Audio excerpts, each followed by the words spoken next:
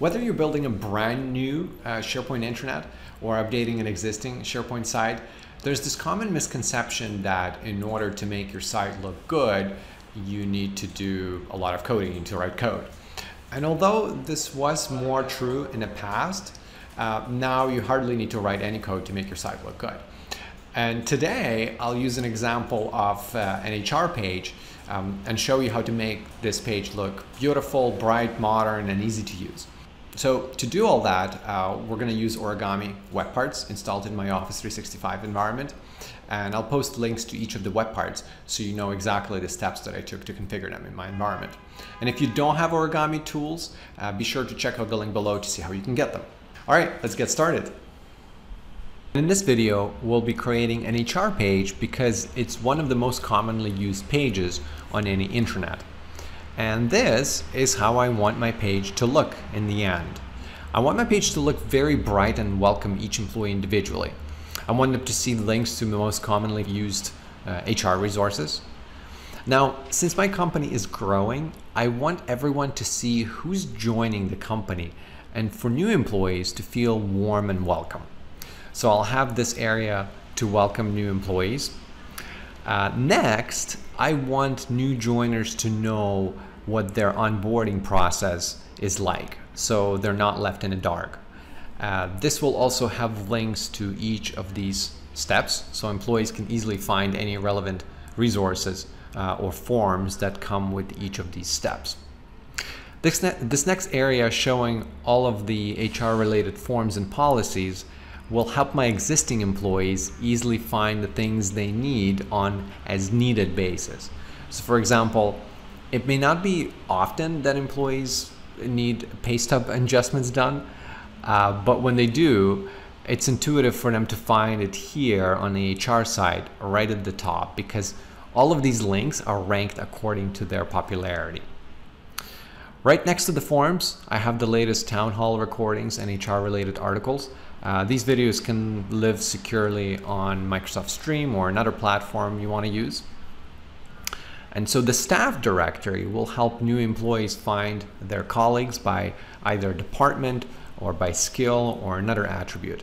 And because this directory will be connected to Microsoft 365, as soon as the new user is added to the system, this directory will update automatically.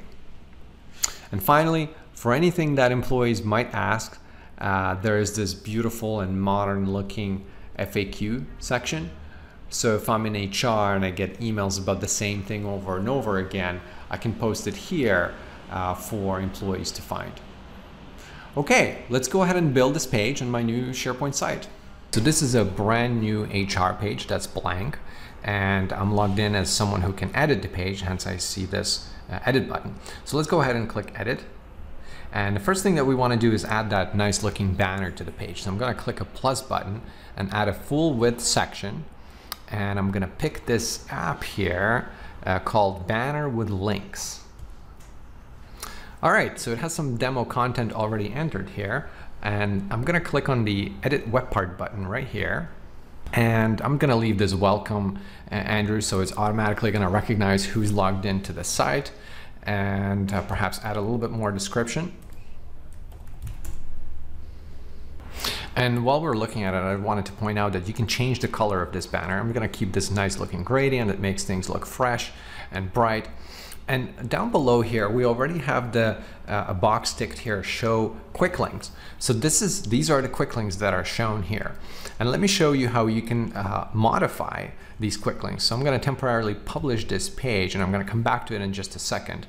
But to access the uh, content of these quick links and change them or and change the icons, I would click on gear and then site contents. And then from here, there's my list called quick links.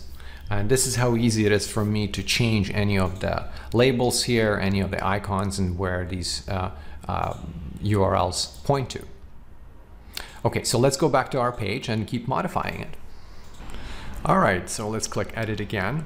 Now I have my header. Next, let's go ahead and add a um, employee welcomes. So I'm gonna add a text here and say new employee welcomes and make the text a little bigger and a little bolder and center it just so it's in line with all of the other things that I have here.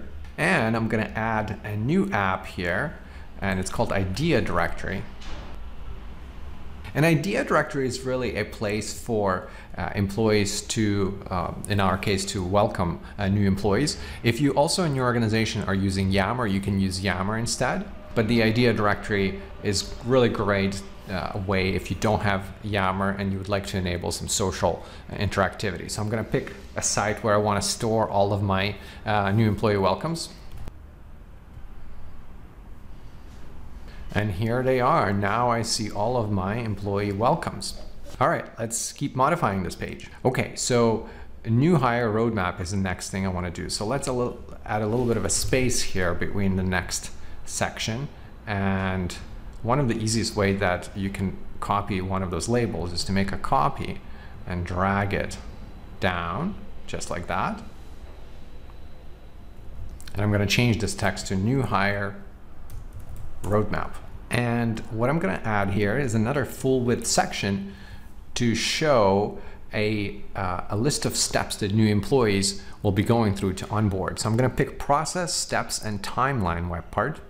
And you'll see that this, uh, this application is asking for uh, a place to read the data from. So in my case, I already have a list created. I'm going to show you that in a moment. But I have a list called onboarding process. And as you can see, the moment that I finish typing that up, it shows me this onboarding process. So let me save the page for a moment and show you what this uh, list looks like. Similar to quick links, uh, we're gonna click on gear, site contents. And here's my onboarding process list. And similar again to quick links, you have our steps, um, the order in which they appear, and uh, the details of each step, the icon, and any URL. And you can also even define the color of each of the steps to kind of show how you're gradually progressing to the next step. So that's how easy it is to add or remove or modify steps in, in this uh, onboarding process web part. All right, let's go back to the page and keep uh, making it beautiful. Okay, so next I want to add uh, a library for employees to be able to find any forms, policies, and templates. So I'm going to click on a new section here and add a two column section uh, first, I'm going to add a little bit of a header here. And then here, I'm going to add town halls and updates. Okay, so below here, I'm going to add a new app uh, we call info directory. And similar to the steps or quick links uh, above, what this info directory does, it pulls a list of forms from the info directory list behind the scenes, and it sorts them in a, uh, in a sort of a popularity. The most popular forms go to the top. So you can see that these are the forms that uh, made it to the top based on their popularity search. And as, a, as an administrator, I can click new here and add a new form and associated files and perhaps even a tag to, to each of those forms. So this is where my employees are gonna find policies and templates, HR specific policies and templates. And in this section, I can add a little bit of uh, uh, interactive content like uh, town hall videos, updates, um, uh, different articles. So in my case, I'm actually going to use Stream application, uh, and I'm going to pull uh, videos from the stream. So I'm going to click on the edit button here. And you can see that you can pick a specific video, a specific channel, or address to the specific channel. In my case, um, I can pick all of the stream and pull out the uh, videos that I have in my stream account. And here are some videos, some sample videos I have, of course, you would have more uh, corporate specific videos. And by the way, an interesting thing about this, this app is if I modify the dimensions of it, it's, it squeezes the videos and they look kind of like this. So you have a choice of how you want the design of these videos to look like. Um, this is pretty good because you can see exactly what's on your page. Okay, let's keep adding more content to our make, to make our page beautiful. Okay, so next type of content I want to add is the staff directory. So I'm going to add a brand new uh, heading here called staff directory. And I'm going to add the staff directory application. And one of the things that you can do in the staff directory is change the number of uh, accounts that are, or people uh, profiles that are showing. I'm going to change this to eight because it fits nicely in my uh, page here. Uh, you can always page through uh, different accounts. And you can see there's a lot of different uh, types of uh, toggles that are available here. We're just going to leave most of the things as is so that employees can find their peers easily either through a skill search or department search. So that's staff directory. And the final thing that I wanted to add here is I want to add uh, ability for employees to ask or receive frequently asked questions. So I'm gonna have, uh, I'm gonna add another heading here. I'm gonna call it Got Questions. And I'm gonna add our FAQ full width application here. This one, FAQ Modern. And it already has some FAQs pre-populated. And these FAQs, again, if I click publish the page, these FAQs come from an FAQ list on my site. So if I click on gear again and site contents, there's already pre-populated FAQ list uh, on here. And of course you would update your own FAQs uh, with the content that you like. So if I go back, here's essentially my FAQs and the rest of the page exactly how I want it to be. Of course, you can modify, mix and match different applications, but you can see this this uh, page is much more modern, much more bright, and much more user-friendly. Uh, so, and that took only just a few minutes for us to update.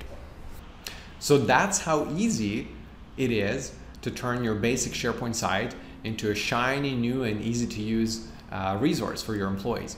Uh, check out the links below for all of the manuals that we used uh, for applications that we used in this video. And if you have any comments or questions, type them up below. We'll love to hear from you.